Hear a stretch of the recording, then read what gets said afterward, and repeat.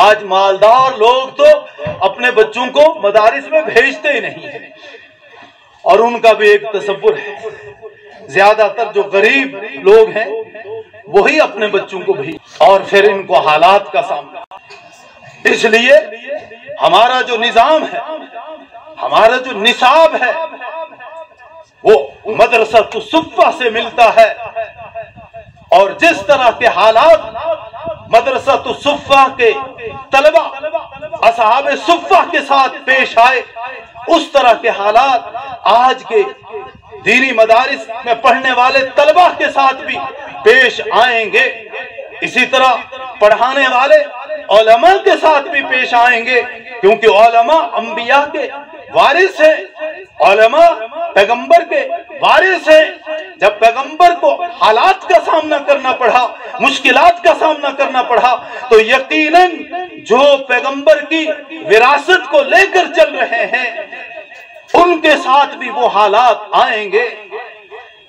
इसलिए ये बात अच्छी तरह से जहन नशीन कर ले।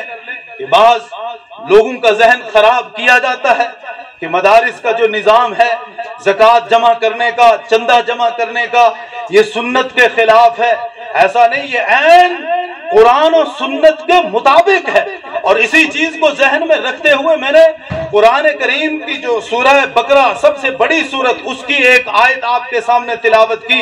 आयत नंबर दो सौ तिहत्तर, जिसमें वाज तौर पे अल्लाह रब्बुल इज़्ज़त इरशाद फरमा रहे हैं तोबा के अंदर है, इन्नम सदकातुल फुकरा। कि सदाकात, जक़ात, उशर सदका फितर, ये फुकरा के लिए। और फुकरा फकीर की अब फुकरा से कौन से फुकरा मुराद हैं? तो अल्लाह रब्बुल इज़्ज़त कुरान करीम में फरमा रहे हैं।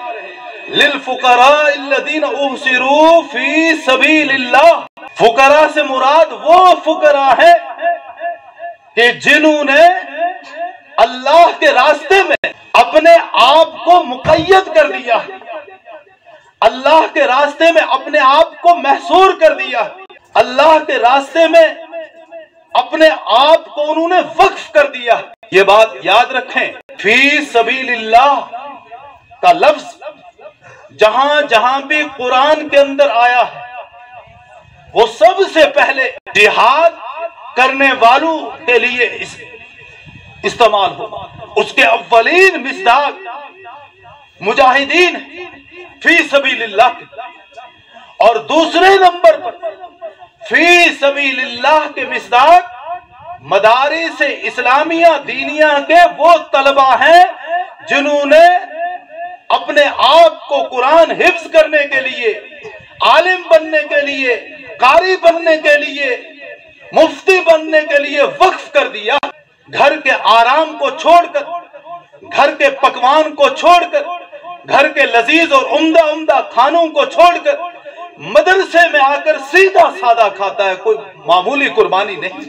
और फिर चालीस दिन की कुर्बानी नहीं है। ये चार महीने की कुर्बानी नहीं है। बल्कि दस साल में एक आलिम बनता, तीन, चार साल में एक हाफिज बनता, बारह साल में एक मुफ्ती बनता, चार साल, पाँच साल, आठ साल, बारह साल तक यही मुजाहिदाना ज़िंदगी गुजार रहे तो वो बच्चे जो मदरसे के अंदर पढ़ते हैं, रात को जब सोते हैं और शहरी के वक्त में सुबह सादिक से अजान फजर से पहले पहले उस्ताद जगाने के लिए जाता है, क्योंकि फजर की अजान के बाद फजर की नमाज़ से पहले पहले उन्होंने कुरान उस्ताद को सुनाना है।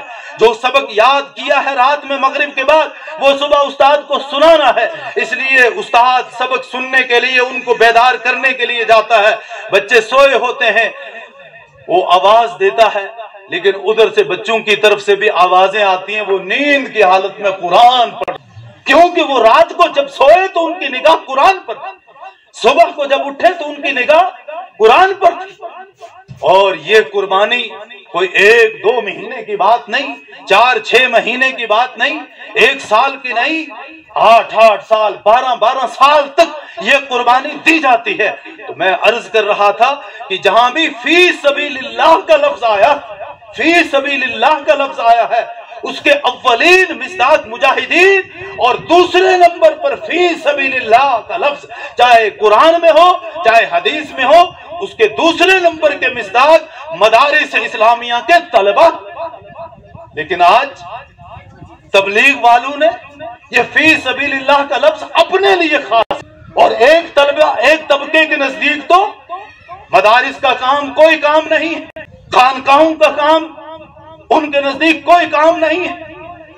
आलमा के बाज तकरीर उनके नज़दीक कोई काम नहीं है। और बाकायदा वो आलमा की निगरानी और आलमा की सरपरस्ती से महरूम होकर आज खुद ब खुद तरह तरह के फतवे दाग रहे हैं और उनका अमीर आला कभी कहता है कि हमारा ईमान अंबिया के ईमान से अफजल है। हमारा ईमान फरिश्तों के ईमान से अफजल हालाँकि कहीं नहीं है ये हदीस की सरासर गलत तर्जुमानी है। अपनी तशरी कभी कहता है, मूसा सलातु व तस्लीम से गलती हुई, वो कोहतूर पर चले गए और पीछे अपने भाई हारून के हवाले अपनी एक लाख कौम को कर गए, जिसमें अट्ठासी हज़ार लोग गुमराह हो गए, पीछे बारह हज़ार ही बचे। तो मूसा सलाम ने यह गलती की। अहल सुन्नत वल जमात का ये अकीदा है कि अम्बिया के राम आलमसलात व मासूम अनिल खदा व निसियान अम्बिया के राम से कोई भूल चूक लफ्जिश नहीं होती। जो होती है उसको इश्तिहादी लफ्जिश कहा गया। और वो बिन जानिबिल्ला उनसे कराई जाती, जो किसी पैगंबर के बारे में कहे। कि उनसे गलती हुई। ये सरासर पैगंबर की तोहीन है। और जो पैगंबर की तोहीन कर, वो अहले सुन्नत वल जमात के जुमरे से खारिज। और बाज ने तो यहाँ तक कहा कि ये सिर्फ़ पैगंबर ही की तोहीन नहीं है, ये अल्लाह रब्बुल इज़्ज़त की तोहीन। अल्लाह रब्बुल इज़्ज़त, हज़रत मूसा सलाम को आसमानों पर किसने बुलाया? वही तौर पर किसने बुलाया? अल्लाह ने बुलाया। जब अल्लाह ने कोहे तौर पे हज़रत मूसा सलाम को बुलाया और वहाँ हम कलामी का शर्फ हासिल हुआ, मूसा कलीमुल्लाह को, अल्लाह ने नबूत से सरफराज फरमाया, उन्हें तौरात अता फरमाई तो अल्लाह ने बुलाया था। तो तोबा नाउजबिल्ला अल्लाह ने बुलाया तो फिर गोया कि अल्लाह ने गलत किया। इस तरह की बात।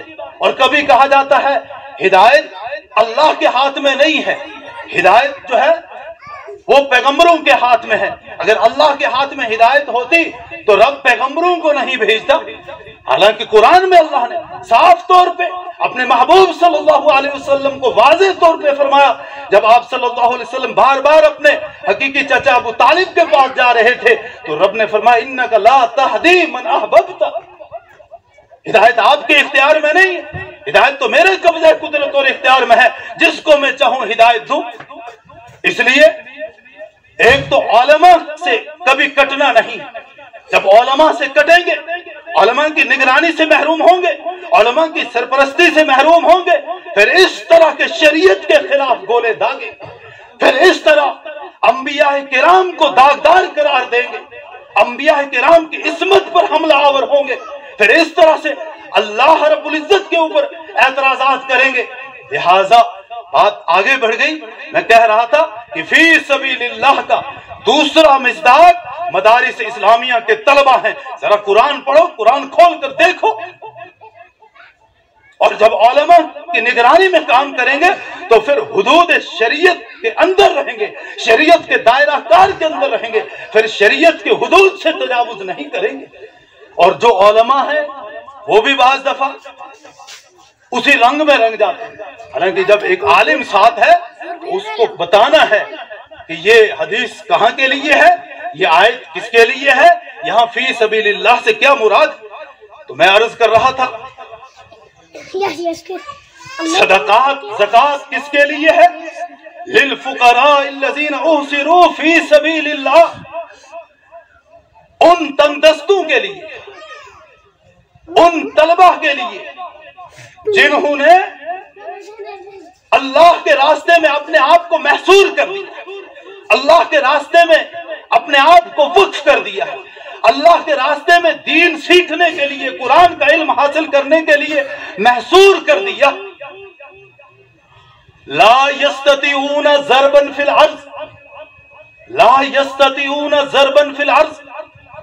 ज़मीन में तलाश माश रोजी कमाने के लिए उनके पास कोई इस्तेदात नहीं है, जाने की फुर्सत नहीं है। अगर ये तलबा जो मदरसे के अंदर पढ़ रहे हैं, हम इनको कहेंगे, जाओ, दिन को मजदूरी करो और रात आकर इधर सबक पढ़ो। क्या ऐसा मुमकिन हो सकता है इनसे? अगर ये वहाँ कमाने के लिए लग जाएँगे तो फिर ये पढ़ नहीं पाएँगे। फिर ये हाफिज नहीं कर पाएँगे, आलिम नहीं बन पाएँगे। हिफ्ज करने में, आलिम बनने में फिर वक्त का हरज होगा। जब इनको पूरा वक्त नहीं मिलेगा, दिन को मजदूरी करते रहेंगे और रात को थके मांदे सोए पड़े होंगे तो कहाँ से ये सबक हासिल, कहाँ से ये हाफिज कुरान बनेंगे? ला यस्तती जरबन फिल अर्ज़। उनके अंदर तलाश माश के सिलसिले में, रोजी कमाने के सिलसिले में ज़मीन में जाने की फुर्सत नहीं। यह सब हुमुल जाहिल अग्निया मिनत उनकी पाकबाजी की वजह से, उनकी बेनियाजी की वजह से, जो जाहिल लोग हैं, नावाकिफ लोग हैं, जिनको दीन का अतः पता नहीं है, वो समझते हैं ये बड़े मालदार हैं। मदरसे वालों ने सफ़ेद कपड़े पहन लिए। ये जी कहाँ से खाते मौलवी साहब ने कफन का कपड़ा किसी के यहाँ बच गया था, उसका सलवार कुर्ता सिला दिया ये जी रोज रोज इनके सूट कहाँ से बदलते? ये कहाँ से इनके पास रोज़ाना की ये चीज़ें आती? भाई देखो तुम जाओ, तुम भी तो दीन के साथ जुड़ो। यह सब हुमुल जाहिल अग्निया मिनत उनकी पाकबाजी की वजह से, उनकी बेनियाजी की वजह से उनके इस्तिगना की वजह से जो नावाकिफ लोग हैं, वो उनको मालदार तस्वुर करते ये बड़े मालदार हैं, इनके पास बड़ा माल होता है। तारिफ हम बिसीमा हम अगर तुम उनकी हकीकत को जानना चाहो तो तुम उनके चेहरों को देखोगे तो तुम्हें पता चलेगा, उनके चेहरों से उनकी भूख के हालात और उनके मुजाहिदात और उनकी मुश्किलात के आसार नुमाया होंगे, उनके चेहरों से असरात ज़ाहिर होंगे, अगर तुम चेहरों पे गौर करोगे। ला यस अलून इल्हाफा। ये वो फकीर नहीं है जो लोगों के साथ लिपट जाए। दे दो चंदा, दे दो चंदा। नहीं, ये साफ़ कहते हैं, जिसने देना हो दो अपनी आखिरत को संवारने के लिए। जिसने नहीं देना है, न दे, कोई बात नहीं है। लेकिन जो देगा, वो कल आखिरत में पाएगा, कल हशर में पाएगा। ला यस अलून नासा इल्हाफा, ये लोगों से लिपट कर मांगते फिरते नहीं। वमा तुनफिकू मिन खैर फ़इन्न अल्लाह बिही अलीम। और जो कोई भी अपना माल इनके ऊपर खर्च करेगा तो वो अल्लाह से पोशीदा नहीं। अल्लाह उस सबको देख रहा। और जो तिरमिजी की रिवायत मैंने पढ़ी, मन खरजा फ़ी तलब फहुआ फ़ी सबीलिल्लाह तिरमिजी की रिवायत है। और नबी अलैहिस्सलाम का फरमान कि जो बंदा, मन खरजा फ़ी तलब इल्म जो इल्म हासिल करने के लिए जो निकला, कुरान का इल्म सीखने के लिए, हदीस का इल्म सीखने के लिए, शरीयत का इल्म सीखने के लिए उलूम नबूत के हसूल के लिए फ़ी यरजिया। वो अल्लाह के रास्ते में है, जब तक कि घर वापस न लौट आए। और उसके आठ साल लगे, दस साल लगे, बारह साल लगे। इस पूरे अरसे में जितनी भी मुद्दत उसकी, जितना भी अरसा लगेगा, वो अल्लाह की राह में होगा। और फ़ी सबील्लाह का मिसदाक अच्छी तरह से जहन नशीन कर लें इसका अव्वलीन मिसदाक मुजाहिदीन और दूसरे नंबर के इसका मिसदाक जो है, वो मदारिस इस्लामिया के तलबा। लिहाजा इन मदारिस इस्लामिया के तलबा को मामूली न समझो। आज हमारी नई नस्ल के लिए सबसे बड़ा जो चैलेंज हमारे लिए है कि हमारी नई नस्ल का ईमान कैसे बचाया जाए। हर तरफ़ से खतरात स्कूलों में निसाब बदल चुका है। अब तो बच्चा पढ़े या ना पढ़े, सिर्फ़ उसने नाचना और गाना है। और नाचने और गाने में अगर वो पास नंबर हासिल कर ले तो उसको अगली क्लास मिल जाएगी, चाहे किताब का उसको एक हर्फ ना आता। पहले तो किताबों के अंदर कुछ दीनियात भी कुछ साहबा और औलिया के वाकयात भी थे। अब वो सब कुछ निकाल दिया है। अब किताबों में सिर्फ़ कुफर ही कुफर रहा है। तो अगर ये मदारिस नहीं होंगे तो हमारी आगे वाली नस्ल जो है, वो ईमान पर कतान कायम नहीं रहेगी। और दूसरी तरफ़ से इर्तदाद की लहर तेज़ी से फैल रही है। और बड़े बड़े शहरों में हमारे बच्चे हमारी बच्चियाँ, हमारे जो नौजवान लड़के, हमारी नौजवान लड़कियाँ इर्तदाद का शिकार हो रही हैं, ईमान को छोड़ रहे हैं, दीन को छोड़ रहे हैं, नूर ईमान से महरूम हो रहे हैं तो हमें इसकी कोई परवाह नहीं। हम जो कुछ होगा अपनी सारी इस्तेदाद सलाहित मदारिस के खिलाफ, मदारिस के ओलमा के खिलाफ और अब बाकायदा तौर पर ओलमा के खिलाफ एक तबका निकला हुआ है। उसका काम यह है, मस्जिद में बैठेंगे, नाम तो होगा चिल्ला चार महीने का, लेकिन वो मदारिस में जाके, वो मसाजिद में जाके अल्लाह के घर में बैठकर गिबत करेंगे। ओलमा की मुखालफत करेंगे। और ओलमा जो शरीयत के मुहाफिज, जो दीन के पासमान है, उनकी मुखालफत करके हम दीन समझ सकेंगे? कतान नहीं समझ सकते। जब तक कि ओलमा की तरफ़ रुजू करके उनके फैज सोबत में रह के उनसे मसाइल न सीखे। दीन की एक रत्ती भी किसी को आने वाली नहीं। इसलिए ओलमा से कभी किसी दौर में भी उम्मत बेनियाज नहीं हुई और तारीख शायद है जहाँ बेनियाज हुई, वहाँ इस्लाम मिट गया। उंदरुस की तारीख पढ़कर देखिए 800 साल तक मुसलमानों की हुकूमत रही। और फिर जो सवाल आया, वो कहाँ से आया?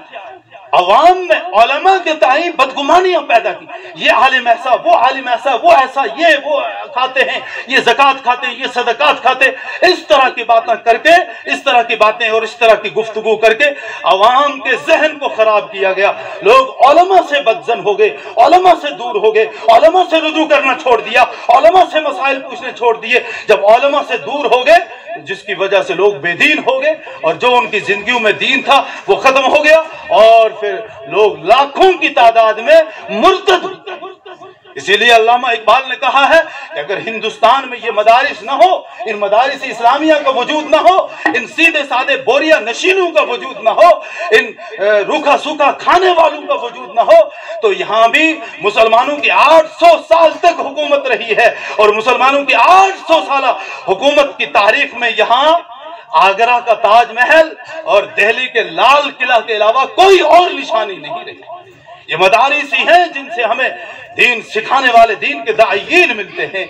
मसाइल बतलाने वाले शरा के मुफ्ती मिलते हैं। ये मदारिस ही है, नमाज़ तरावी में हमें कुरान सुनाने वाले इनसे मिलते हैं। ये मस्जिदें ही हैं, जिन मस्जिदों से, जिन, ये मदरसे ही हैं, जिन मदरसों से हमें मस्जिदों के लिए इमाम मिलते हैं। अगर मदरसे नहीं हुए, मदरसे बंद हो गए तो फिर तो मस्जिदों को इमाम कहाँ से मिलेंगे? जुमा का वाज करने वाला कहाँ से आएगा? जुमा का खिताब करने वाले कहाँ से आएँगे? ये मदारिस ही की तो देन है। इसीलिए आज से कई साल पहले अशरफुलमा मौलाना अशरफ अली थानवी आल रहमान ने मेरठ के एक बहुत बड़े इजलास आम से मुखातिब होकर कहा था, या लोगों, सुन लो तुम इन ओलमा को बदनाम करते हो, इन दीन के इदारों के जिम्मेदारान को बदनाम करते हो। याद रखो, अगर ये मदारिस वाले, ये ओलमा ये हुफाज, ये कुर्रा, ये आइमा दिल बर्दाश्ता होकर ये काम छोड़ देंगे और कारोबार कर देंगे। कोई कपड़े की दुकान करेगा, कोई मिठाई की दुकान करेगा, कोई परचून की दुकान करेगा, कोई सब्ज़ी की दुकान करेगा, कोई ठेकेदारी करेगा, कोई कुछ और करेगा। और ऐसी बात नहीं है कि इनको ये नहीं आता। जो कुरान के तीस पारों को अपने सीने में महफूज करते हैं, जो छह हज़ार छह सौ छियासठ आयात को याद करते हैं, जिनके सीनों में एक सौ चौदह कुरान की सूरतें हैं, क्या वो दुकानदारी नहीं कर सकते? क्या वो ठेकेदारी नहीं कर सकते। अभी पिछले दिनों में मैं इधर गया था कास्तीगढ़ जलसे में तो वहाँ टाप नील में एक रोड का काम ऊपर लगा हुआ था इसी रास्ते में। तो मैंने कहा, ये काम कौन करवा रहा है? किसकी मशीन लगी है? कहा, ये जी हाफिज मोहम्मद अमीन की मशीन है। मैंने कहा, ये कौन से? कहा, वो जो पहले वहाँ उस मस्जिद के इमाम थे, आज भी वहाँ इमामत भी करते हैं, साथ में ठेकेदारी भी करते हैं, और उनका करोड़ों का काम अब चल रहा है। हालाँकि तीन चार साल हुए ठेकेदारी करते हुए। लेकिन मौलाना अशरफ अली थानवी ने फरमाया, इनके अंदर सलाहियत है, ये सब काम कर लेंगे। लेकिन तुम अपनी और अपने आने वाली नस्लों के ईमान की खैर मना लो। पचास साल के बाद तुम्हारे बच्चे कोई हिंदू बना होगा, कोई सिख बना होगा, कोई यहूदी बना होगा, कोई ईसाई बना होगा, कोई पारसी बना होगा, कोई बुद्धिस्ट बना होगा, कोई मिर्जाई बना होगा, कोई कादियानी बना होगा। सब ईमान को छोड़ देंगे, इस्लाम को छोड़ देंगे। ये ईमान पर कायम है, इस्लाम के साथ, दीन के साथ जुड़े हुए हैं, कुरान के साथ वाबस्ता है। ये सब मदारिस की देन है। ये मदारिस हमारे दीन के पासबां है, मुहाफिज। जहाँ से दीन के सिपाही और दीन के दाई पैदा होते हैं, जहाँ से शरीयत के मुहाफिज और कुरान के हाफिज पैदा होते हैं। और आज आपके इस इदारे से भी एक बच्ची जिसने हिफ्ज किया मकतब में और किस इलाके की है बच्ची? बुढ़धार इधर करीब में ही है ना? और बच्चा कहाँ का है? इसी शेर बगन का। ये तो बड़ी खुशकिस्मती का मकाम है। वरना जहाँ मदरसा खुलता है तो दूर वाले आकर फैज हासिल करते हैं और करीब वाले महरूम रह जाते हैं। चिराग तले अंधेरा।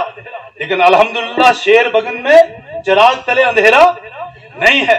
लिहाजा एक बात, अच्छी तरह से जहन नशीन कर लो। वो बात यह है कि हमने अपना ईमान भी बचाना है। अपने बच्चों का ईमान भी बचाना है।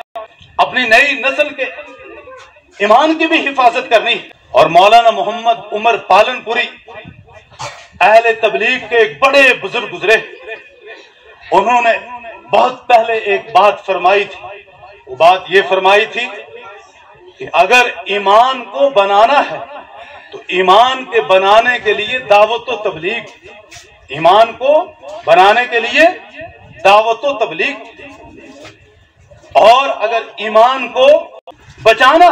तो ईमान को बचाने के लिए दीन के मज़बूत और मुस्तहकम किले और इस्लाम के मराकज दीनी इदारे, यानी मदारी से इस्लामी और अगर ईमान को सजाना तो फिर खानकाह ईमान के सजाने के मराकज, जहाँ तजकिया नफ्स और ततीर कल्ब होता है, अल्लाह अल्लाह, ला इल्लल्लाह की जरबों के ज़रिए। और हमें ईमान को बनाना भी ज़रूरी है हमारे लिए।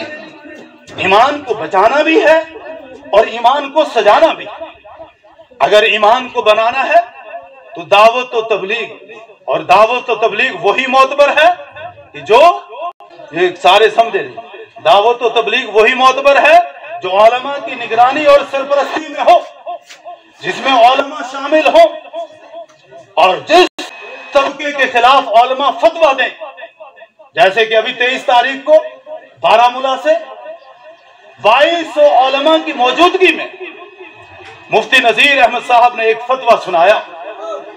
बाईस सौ ओलमा ने हाथ खड़ा करके तायद की। हमारे इधर से भी गए हुए थे, वो भी उसके ऊपर साइन करके आए। मौलाना अल्ताफ साहब कहाँ चले गए? इधर आपने साइन किया कि नहीं किया? किया साइन। साफ़ तौर पे मुफ्ती नजीर अहमद साहब जो इस वक्त दारुल उलूम रहीमिया के सदर मुफ्ती और जम्मू कश्मीर के मुफ्ती आज़म है।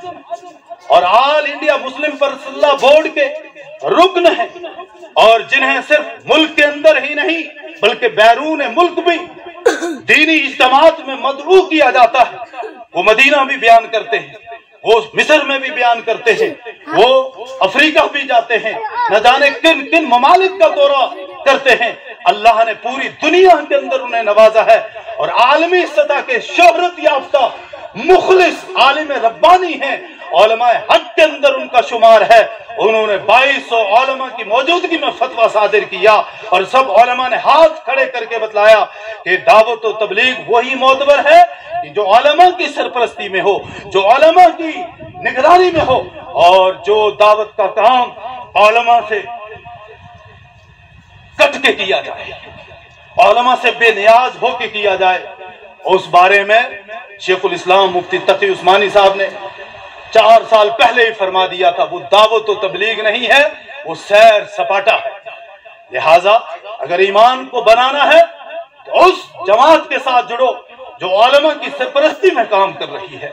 अगर ईमान को बचाना है तो मदारिस के साथ अपना ताल्लुक जोड़ो, आलमा की खिदमत में जाओ और गाहे बगाहे उनसे मसाइल पूछते रहो, आज ये मसला आया है, आज यूँ हमें सीओ ने ऑर्डर किया है, आज यूँ हमें जेडीओ ने ऑर्डर किया है, आज इस तरह का प्रोग्राम है, हम क्या करें? इसी तरह से अगर ईमान को सजाना है तो तो खानकाहों का रुख करो और किसी आरिफ बिल्लाह के हाथ में अपना हाथ देकर अपने दिल को साफ़ कर लो। जब दिल साफ़ हो गया तजकिया कल्ब और तजकिया नफ्स और ततहीर कल्ब हो गया तो इनशाला सब हासिल हो गया। तो बताओ, ईमान को बनाएँगे कि नहीं? इनशाला ईमान को बचाएँगे भी, ईमान को सजाएँगे भी। हाँ हाथ खड़ा करके करो, कहो कि ईमान को बनाने के लिए दावत और तबलीग में वक्त लगाएँगे। और ईमान को बचाने के लिए ओलमा और अहले मदारिस से जुड़ेंगे। और ईमान को सजाने के लिए खानकाही निज़ाम से अपना ताल्लुक जोड़ेंगे। इनशाला उसके अलावा असर की नमाज़ का वक्त बिल्कुल करीब है, हम तो सवा पाँच पढ़ते हैं तो यहाँ भी इसी वक्त होगी, उससे पहले दस्तार बंदी भी होनी।